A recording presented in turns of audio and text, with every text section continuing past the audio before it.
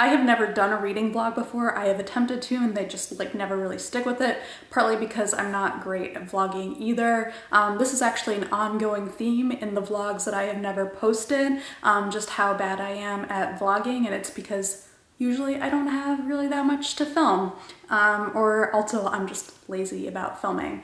Um, but I am now 20% into chemistry and I am overcome with feeling already.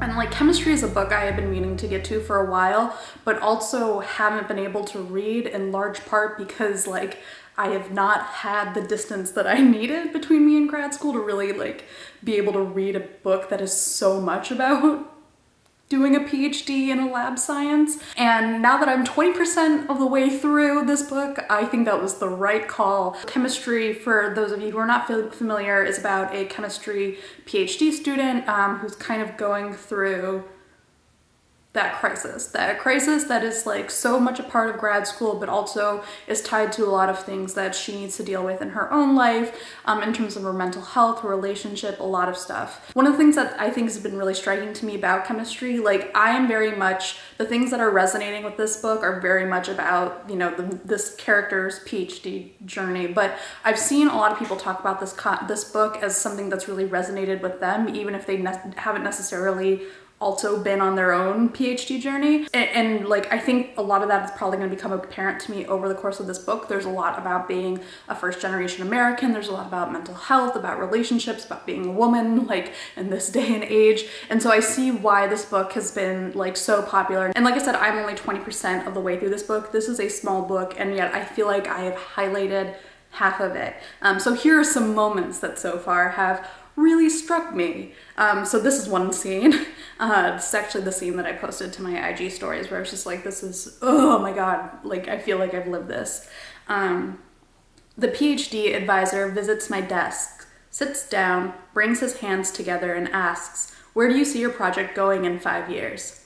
Five years, I say in disbelief. I would hope to be graduated by then and in the real world with a job. I see, he says. Perhaps then it is time to start a new project one that is more within your capabilities. I did not have that exact conversation with my advisor. My advisor was very supportive as I like say all the time, but like that, that conversation about time and about graduating and about what is realistic in terms of doing your research. Ugh. Oh, here's another one. There comes a point in the doctorate where you just have to finish no matter what, which is very true. That's that's a thing they don't tell you. It seems like there's gonna be a clear ending point, but for most of us, you graduate because you're just like, well, I gotta do it. Like it's gotta happen at some point. It might as well be this point. This is another one that I love. So at one point, the um, the main character is explaining what it means to be working in her field of research. She works in synthetic chemistry. The way I have explained it is through Legos. The chemistry that I do involves putting many Legos together and having another Lego come out.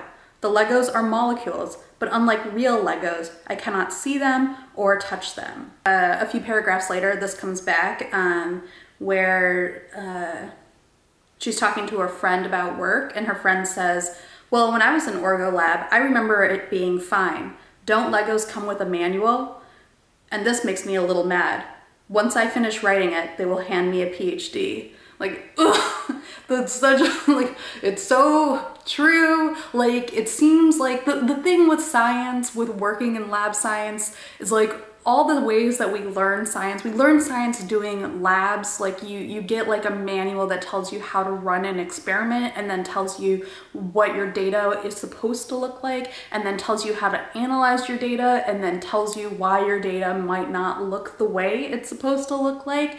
And that is so far from the actual experience of working in a lab and doing an actual experiment. Like I understand why the labs that you do in your lab classes are set up that way. They don't actually prepare you for the reality of doing an experiment, which is like you come up with a way that you're gonna do an experiment you do it, it probably doesn't work. So then you go through all of the things that you did, try to like figure out what might have gone wrong, fix that one thing, and then pray, do the experiment again. It probably still won't work. So then you find another thing and you change that. And the thing is, you ha you have to change one thing at a time. You're not allowed to just change everything at once because that's not good science. Like you can't change everything at once because then you won't know what you actually did wrong. So it's just like this interminable process to apparently write a fucking Lego manual. There's another moment too. She says, you must love chemistry unconditionally, but all I can think is how I am not up for the task.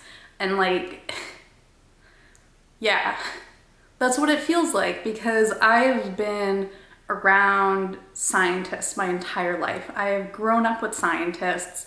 I've like seen people who who love science in that unconditional way and I got to a point where I realized I didn't love science unconditionally. I didn't like having to love science on science's terms where I was going to have to construct my life around my experiments, where I was going to be obsessing over my experiments like all the time, where I was going to be assessing myself in terms of how my experiments were going. And I don't think that you actually have to be that way to do science, but that's what it felt like at the times when I felt most like insecure about whether or not I was a good scientist. Another like detail that like resonates too much um, the the main character she has this boyfriend um, who is also a phd student and he is frustratingly sane and happy with his experience um, which weirdly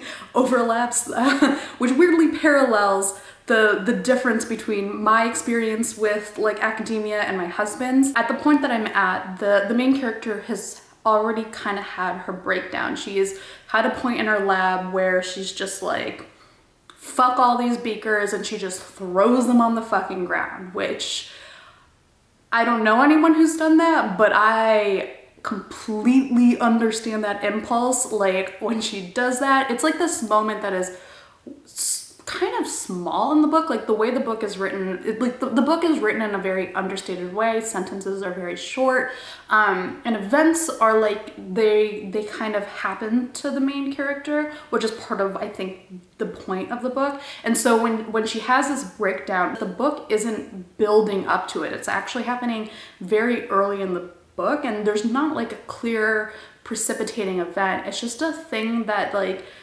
she just kind of does and it has a huge impact on her life but it's all very like understated in how it's written and I really like that quality to it because like I it feels it feels real. All of that feeling is just from the first 20% of this book. And so I like I don't know what I'm gonna do with this. This is this is the ad now on my Kindle um, that's come up now that my Kindle has fallen asleep.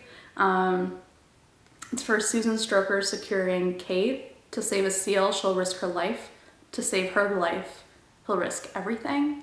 Um, don't really know what that means. Probably not gonna read it. Um, but maybe I will. Maybe I'm gonna get to the end of chemistry and I'm just gonna be like, oh, for fuck's sake, while I'm here, because I'm just rambling at this point. Um, I'm reading chemistry, but I'm also listening to Jia Tolentino's um, Trick Mirror on audiobook, and that has also been super fascinating. Um, and it's kind of interesting to like listen to be listening to that book while also reading chemistry because there's kind of not an overlap like they're not about the same things at all at least so far the essays that um, Jia Tolentino's been writing or that I've been listening to so far are mostly about like performance and identity. Um, but actually I think that does overlap with chemistry in a way uh, in particular I think so far the the main character is like very caught up kind of even if she doesn't seem to completely know it in how she's performing her identity as a scientist and as a girlfriend where she's not quite sure what it is that she's looking for out of those things beyond doing them. She doesn't kind of know how to experience the thing, she knows how to act the thing. Um, so yeah, that's like a just a connection that I'm just kind of pulling out of my ass, but that I think is kind of there. Um, and maybe yeah is the thing that resonates and maybe i'm pulling that out of my ass because that is the thing that i experienced that's a lot of the imposter syndrome that i think people talk about with grad school is that feeling like of i'm not supposed to be here. Someone's going to find me out. And, and so you get really caught up in like do people at least see me as a scientist? Um, which isn't a real thing. Like if you're doing the science and you're doing it like that's that's the scientist that makes you a scientist. That's insightful. This is why I, I, I, for one, don't have my own book or series of essays.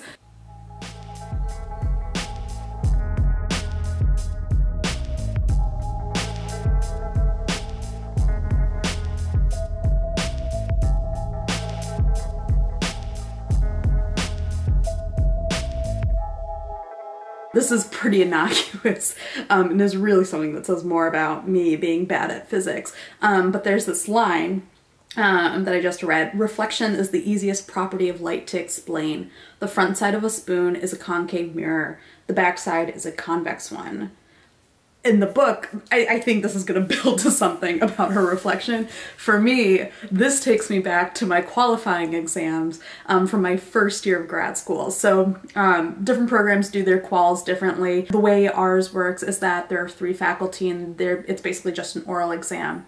Um, so at the time that I did them, there were three sections. Um, there was the first section was about like molecular biology, roughly. The second section was about physiology, and the third section was a topic related to your research. And it's what's hard about it is that it's not standardized. Everybody has a different committee, and it's really just up to the professors to decide what they want to ask. Like they just can kind of go on a whim and then take it anywhere you want they want. And there's not really good oversight um, in how they do that. It's just overall there's a lot of things that are sort of annoying in my opinion about quals. Um, I could go on a whole rant about that.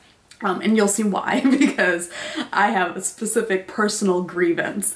I And one of the people on my committee was actually kind of a big deal in immunology. Like he's involved in like some pretty cool stuff that like kind of is the foundation of a lot of what we know about um, the immune system now. So when I saw him on my committee, I was like, oh, that's cool. Like, but it was also a little bit hard because he hasn't really taught at the school in a long time. Like he was an emeritus professor. Like there really was no good way for me to sort of like anticipate what he was going to ask. Um, so I like he was the first section. So he was my professor like quizzing me on molecular biology.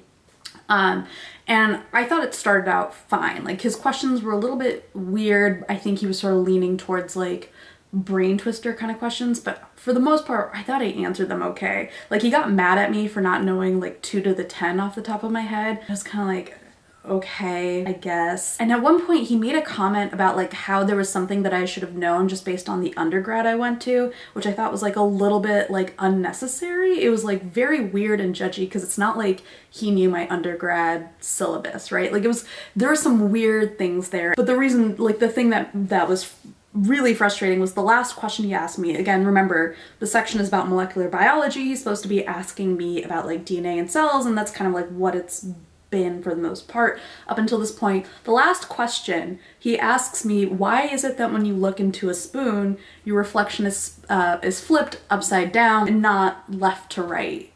And I was like, like, what does this have to do with anything that we've been talking about. What does this have to do with molecular biology? Very loosely, the connection is about chirality. Like if you know anything about chirality, I think that's what he decided was like the justification for answering this question. And so I told like other faculty and other students later, like he asked me a question about like, you know, my reflection in a spoon and people were like, what like what does that have to do with this because like yeah like what does it have to do with this and this is kind of the problem with quals like again it's hard to standardize. The professors just sort of like say what they want. It's a lot of people call it academic hazing and i kind of believe it. I have a lot of strong feelings and in our program they actually did make a lot of changes to quals over the years and i think it's gotten better. Um, they've done some things to make it more useful for students i think hopefully, um, and to make it less of this like weird rite of passage. Um, so part of the reason why I got mad is because I actually ended up failing his section. Personally, I think I should have failed the third section of my quals. And the reason why I think I should have failed that section is like by that point, like my brain had just fully shut down and I forgot how to do this really super basic integration, like a simple math thing that just like total, total brain fart, could not do it. It was so embarrassing. Um, and so like I assumed that if I was gonna fail a section, that that was gonna be the section I failed. And I remember my um, my husband, my boyfriend at the time, we were about to leave for a trip for Iceland, and I found out that I failed the first first section of my quals right before we left, and I was just like, well. I don't know why. Like, is it just because of the spoon? Like, I talked, like, one other person um, in my class, one of my friends, she had had the same professor um, give her first section. He asked her the exact same questions. It seemed like we had answered with relatively, like, the same level of knowledge, and somehow I was the one who failed. It was very confusing, and, like, I was so irritated it ended up not mattering. So I, I, mean, I did fail that section, but basically I ended up having just to retake it later in the summer. Um, and it was with two other professors who asked questions that were actually relevant to the topic at hand.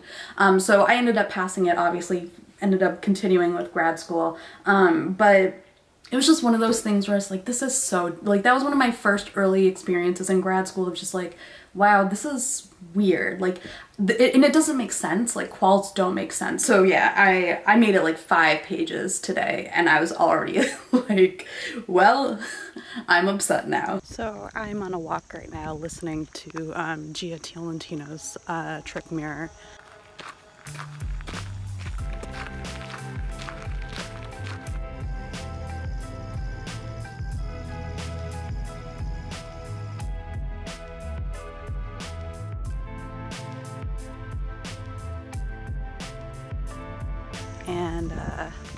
I'm listening to the essay that's about athleisure um, and like optimization and barre, uh, which is a fun thing to be listening to when you are on a walk.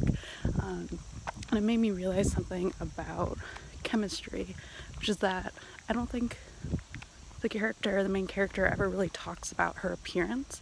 And it's kind of striking in a book that's very much about like a young woman's like anxieties and insecurities that that's not an element, um, which is just something I thought was interesting and also kind of find refreshing in a way because it is very different compared to a lot of books on the same subject.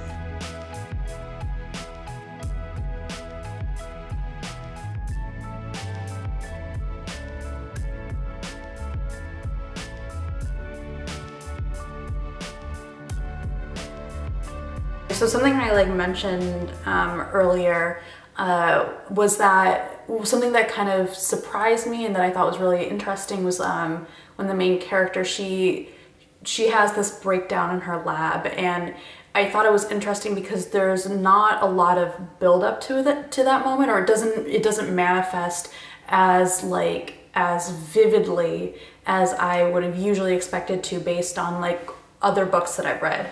And that was something that I, I, I liked about it. I thought there was something really like really understated and impactful about that choice. Um, and, and kind of related to that, something that I find interesting is a lot of times um, that kind of breakdown is what the book is what a book is usually building up to. I don't think that's the case in this book. Like the breakdown is part of like the initial ascent, descent, or something, I don't know, like the initial trajectory of the character. And what it's really building to is her boyfriend, Eric, leaving. Like everything in her life is clearly kind of unraveling in a way, but it's really, this is, seems like the, like the big turning point that the unraveling is really centered around. Not like the grad school, not her relationship with her parents. Those are all the things that are building up. And then this is the real point, like that the book is literally divided by. There's also a lot of stuff with her relationship with Eric as well as her relationship with her parents um, that I'm sure is part of why this book has resonated with so many people that I've talked to. Part of the journey of reading this book has been like being like, oh, this is why why so many people love this book so much and why so many people I know have said that like they saw so much of their own experience or they related so much to the this book. I think a lot of that is also related to the way that the, the main character's voice is constructed, um, the way that it is very simple and direct. It's distinctive in a way that's like really specific, like it's specific to this character, but also has sort of a I don't know, there's something that's so unfrilly about it that even if you don't talk like that, even if that's like not the way you think, I think it's easier to like place your own experiences like kind of in the gaps between the sentences, if that makes sense.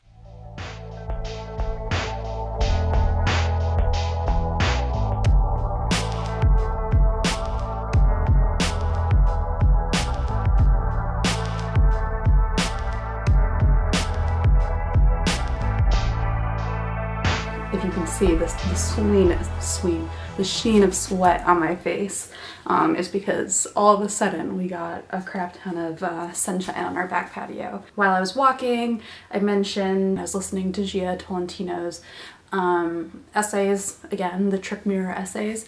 Um, so I was listening to like the athleisure, uh, kale barre, like optim optimizing the modern woman kind of essay, um, which is about, which like gets a lot into kind of beauty ideals. When I was listening to that es that essay, um, up until that point, chemistry, the main character in chemistry had rarely ever talked about her looks. It is now actually coming up. Um, let's see if I can find the quote. Uh, my mother is not dumb. She knows beauty is not everlasting. She tells me often, you are not beautiful. Do not think yourself beautiful. And I'm angry at her for a long time it is a double-edged sword. There's another point where her friend is dealing with um, finding out that her husband um, has been having an affair with a younger secretary and she says, secretly I am envious. I want it all to be smart and beautiful, physically beautiful. It is vain, I know, but that is what I want. And so it's interesting to me that that's something that hasn't been so prominent in this book and it's like now coming up.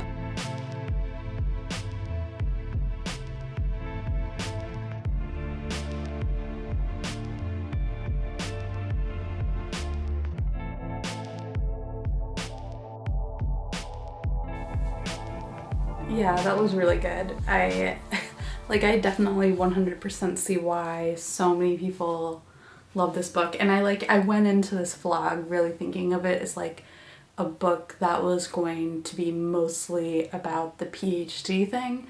Um, that was kind of the part that I had heard the most about.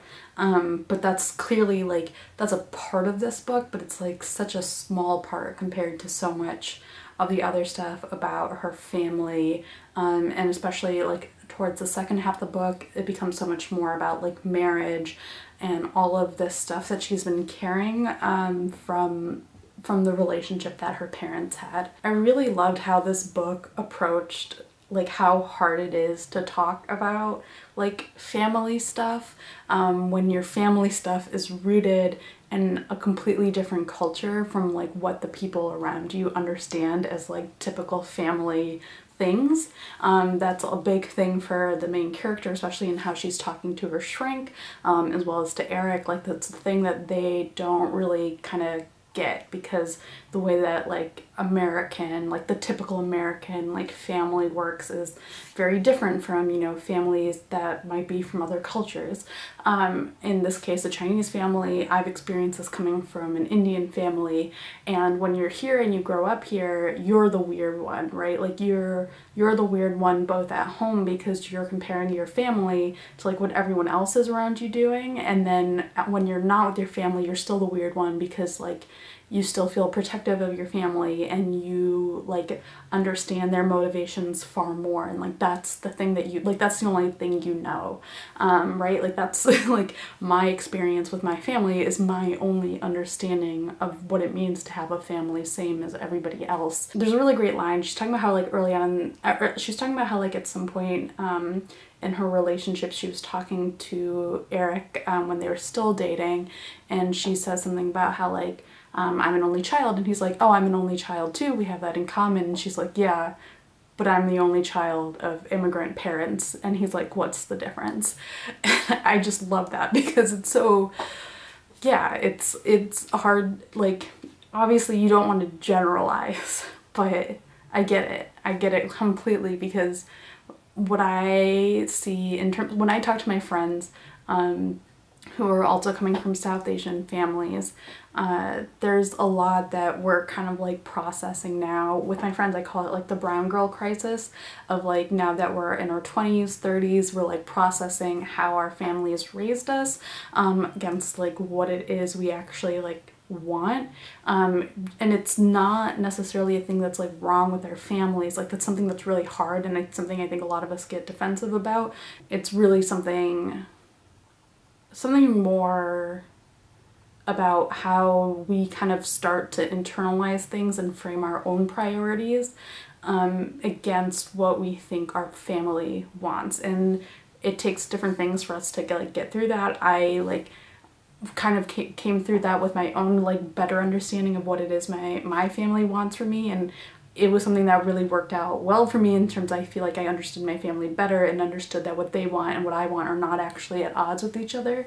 Um, but it's it's hard and it doesn't always resolve itself so easily. And I think when you're an only child, there's always there's already the sense of like oh shit like I'm the only like I'm the only one who's gonna get it right or wrong for my parents like my parents did not make a backup plan for me like I am plan A B C through Z like all of those plans are just me. And that's something that I think feels very only child and also feels very much like being yeah the only child of immigrants. And so I really loved that line.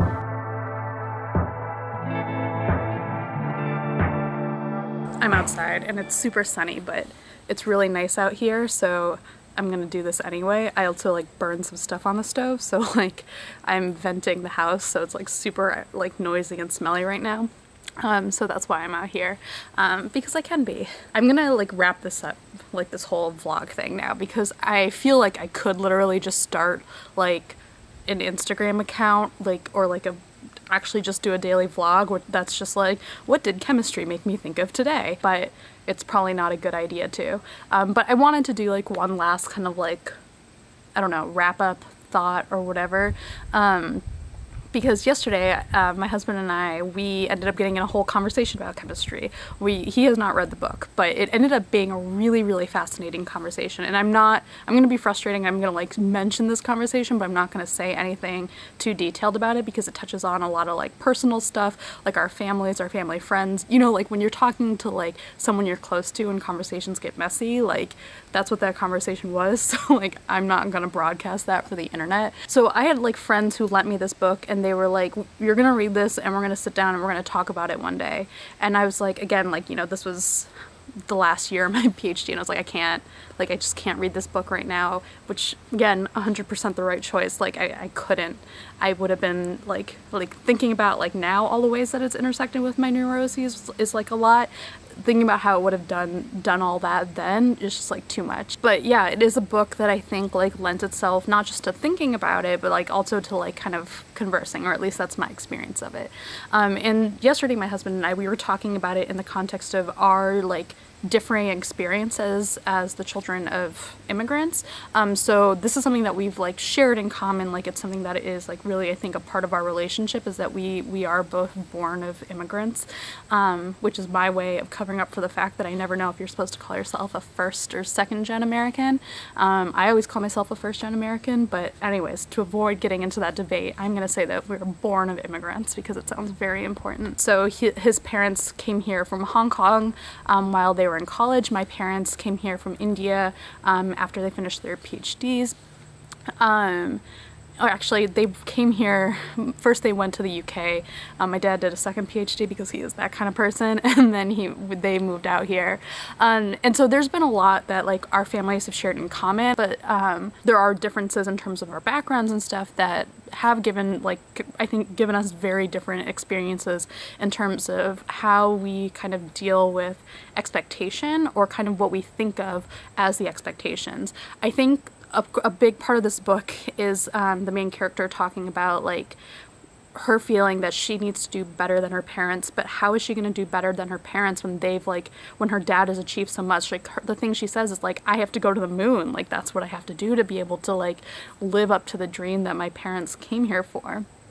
And that kind of, that sense of expectation, I think that's something, my feeling is that that's something that a lot of kids who are born of immigrants. That's something that a lot of us experience that like our parents made this huge immense decision to move to like a completely different country um, not just to like make a better life for themselves but also you know whether or not we were born like but also like for us like we might not have been like a real thing even in their lives but that's like a part of their decision is that like they want to like raise their future offspring in a in a new country um, and that's like a really intense decision to make and that that's something that a lot of I think a lot of kids who grow up um, with immigrant parents, they internalize that expectation in different ways. And some of that might be, you know, due to the parents, some of that might be due to what their parents are doing, like what kind of careers they have. Some of that might be the community that they're raised in around their parents. Like if you're raised with, in my case, like a lot of other Indian parents around you, there's like something in the community that can create a sense of expectation, um, especially if you're surrounded by a lot of kids who are your age. I know a lot of us felt like we were compared to each other. Um, whether or not that's fair is another question.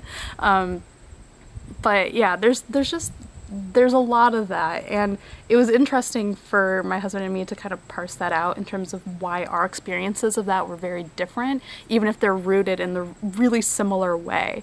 Uh, just yeah i don't know. Things like this are so complicated. A thing i liked about the book is that it, it ends on such an ambiguous note which used to be a thing i hate but now I'm kind of loving it. At least in the context of this book, I really love it because I don't think that this should be a, I don't think this book is about easy questions or easy answers. I think it's about how muddied all of these things are and how complicated they are. There's a lot of science woven through this book obviously and I love that but like I think it's it's setting up this clear dichotomy between this the easy answers I mean easy is like obviously getting to the answers are, is not easy, but the idea of a concrete answer is easy compared to like the messiness of actual relationships, whether they're like, you know, being a child, whether they're being a friend, you know, a girlfriend, potential wife, like all of these things are so much messier. And I think that's what I like so much about this book is that it doesn't end on a clear answer. It just ends on a clear intent. And that's something that for the main character is a huge deal. So yeah, I'm getting super sweaty now, so I think I'm gonna head back in because I need to film some more stuff um, for other videos. But yeah, thank you guys for joining me for this like long meandering, meandering tour through chemistry. I hope this was fun. I hope this format was fun. I might do it more in the future, um, do some more kind of reading vloggy kind of stuff like this. I'm sure other books that I read won't be nearly as neuroses related or whatever. I don't know if I'm supposed to be doing a review should I do a review? I think I'm gonna link to a few videos from my Not My Thesis series down below. For those of you guys who might be new to my channel, Not My Thesis um, was actually a series that I did like while I was finishing up my PhD program um, and a little bit after as well. And it was just kind of talking about my experiences with grad school, talking about things in academia. It's something I've thought about doing um, is like a, a PhD postmortem video where I kind of run down like now that it's been more than a year since I finished my grad school thing, that part of my life. I'm kind of running down some of my thoughts about having done a PhD um, now that I'm very much not in academia anymore and now like working in science writing. Um, yeah, so just running through my thoughts on on having done a PhD from the other side, I guess, and like kind of talking about whether or not it was worth it. Um, so if you guys want to see something like that, let me know. Let me know what kind of questions you would have for that, um, and I will hopefully kind of film one of those soon because I do kind of want to like put a an end cap to not my thesis. I feel like right now it's sort of just like ended very abruptly but not really like I never really put a formal end to it so I think I'm gonna do a PhD postmortem for that and then maybe call that series to an end. Um, so yeah thank you guys for watching and bye.